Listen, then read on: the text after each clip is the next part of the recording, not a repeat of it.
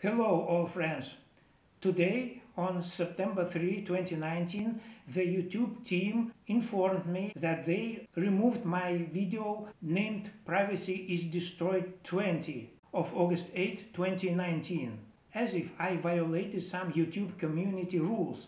They do not specify what a point concretely, but I can suppose that they had in mind so-called maliciously attacking other persons and deliberately humiliating them and so on.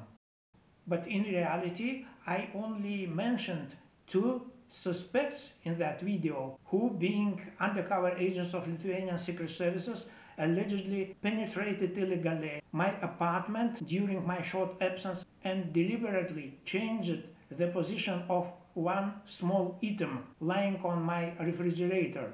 I don't know who of them sent a complaint to the YouTube team, but it turns out that they harass me and terrorize me and violate my human rights, but at the same time they portray themselves as my own victims.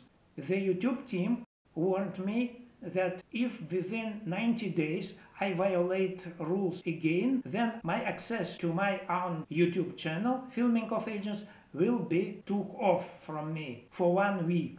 For the second time, this punishment will be expanded to two weeks, and for the third time, the whole my YouTube channel will be removed from the YouTube. I used the right of appeal granted by them and am now waiting for their response. If the answer is no, then I will try to reshoot that my video privacy is destroyed 20 straight from the screen and publish its shortened version. So how long my channel will last it's not known exactly. Therefore I suggest all friends to look my old videos while it is still possible.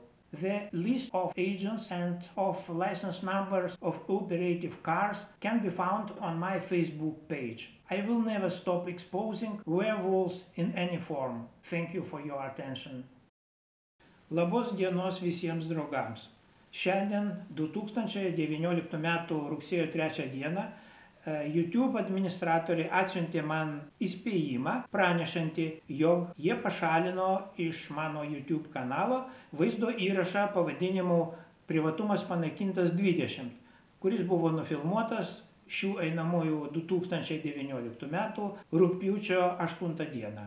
Neva aš pažeidžiau YouTube bendruomenės taisyklės. Jie nekonkretizavo, kurias būtent, tačiau galima numanyti, jog jie turėjo omenyje tuos punktus, kur sakoma, jog negalima piktybiškai puldinėti kitų žmonių, tai reiškia priekabiauti, tyčinai juos žeminti ir panašiai.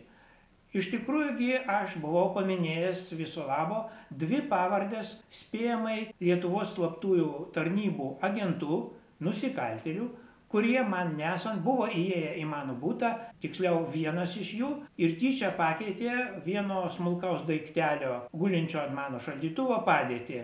Tai yra normalu, jie tai neretai daro. Tie žmonės gyvena mūsų laiptinėje, yra kaimynai. Ir ne vien tik tai du paminėtieji. Sunku pasakyti, kuris būtent iš jų parašė šitą skundą, tačiau susidaro tokia padėtis, kad jie mane daug metų terrorizuoja, pažeidinėja mano žmogaus teises, žemina mane ir dar patys vaizduojasi esą mano paties aukos.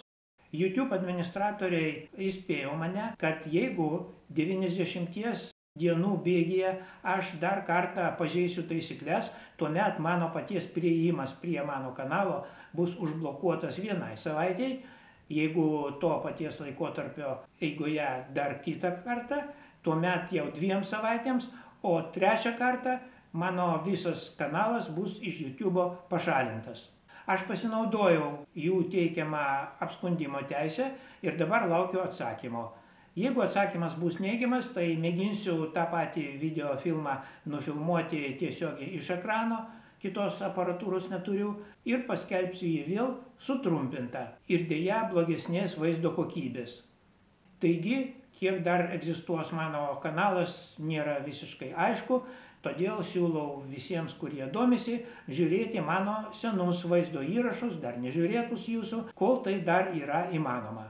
Man žinomų agentų ir operatyvinių mašinų numerių sąrašą galima rasti mano Facebooko puslapyje. pagal mano vardą ir pavardę. Niekada nesiliausiu bet kurią formą demaskavęs tuos vilkolakius. Ačiū uždėmesi. Доброго дня всем друзьям! Сегодня, 3 сентября 2019 года, администраторы YouTube прислали мне предупреждение, в котором они сообщают, что удалили с моего канала видеозапись под названием «Неприкосновенность частной жизни уничтожена 20». Он был отснят 8 августа текущего 2019 года. Якобы я нарушил какие-то правила общества YouTube. На самом же деле я всего лишь в этом видео упомянул двух предполагаемых преступников, агентов литовских секретных служб, которые проживают на моей же лестнице, в этом же доме, являются соседями, один из которых, видимо, вошел в мою квартиру во время моего краткого отсутствия и умышленно изменил положение одного мелкого предмета, находящегося на холодильнике. Это, в общем, их обычная практика, они это практикуют. Трудно сказать, кто из них именно написал эту жалобу администраторам YouTube. Администраторы YouTube меня предупредили, что если в продолжении 90 дней я еще раз нарушу правила, то мой доступ к моему собственному каналу на YouTube будет заблокирован на одну неделю.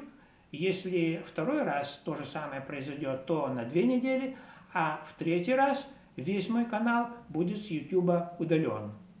Таким образом получается, что агенты меня терроризируют, нарушают мои права, всячески унижают и запугивают, а сами изображают себя моими же жертвами. Я воспользовался предоставляемым YouTube правом на обжалование и написал жалобу, и теперь ожидаю ответа. Если ответ будет отрицательный, то попробую переснять с моего флеша тот же самый фильм с экрана и опубликовать его более короткий вариант, увы, с более плохим качеством изображения. Сколько еще будет существовать мой канал, сказать трудно, поэтому всем интересующимся я бы посоветовал смотреть мои предыдущие старые видеозаписи, пока это еще возможно. Я никогда не прекращу в любой форме разоблачать всех этих оборотней. На этом заканчиваю. Благодарю за внимание.